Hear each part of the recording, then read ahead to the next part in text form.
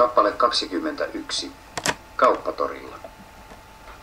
Rova Hill menee tänään ostoksille kauppatorille. Hänen täytyy ostaa hedelmiä, vihanneksia ja kukkia.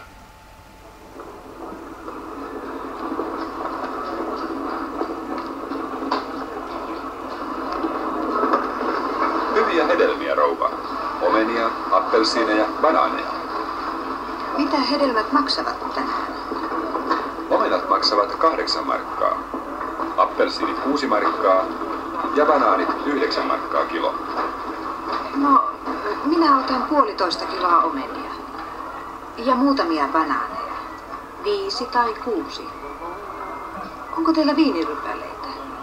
On. Meillä on hyviä espanjalaisia rypäleitä. Antakaa minulle niitä puoli kiloa.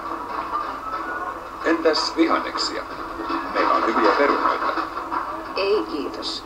Tänään minä en tarvitse perunoita. Mutta vähän salaattia ja tomaatteja. Voi, voi rouva. Salaatti on lopussa. No, minä otan sitten vain tomaatteja. Isoja vai pieniä? Noita isoja.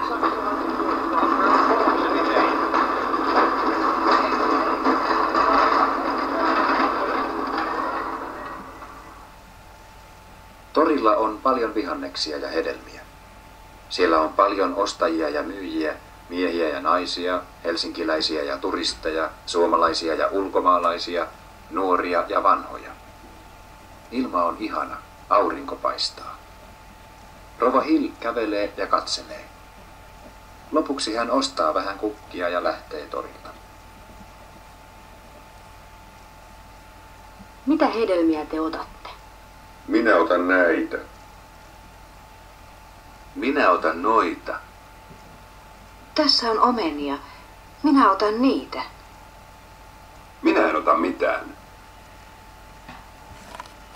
Vähän salaattia. Vähän parempi. Antakaa näitä banaaneja. Hyvä myyjä. Tuo myyjä myy juustoa. Mitä muuta myyjä myy? Muutamia hyviä munia.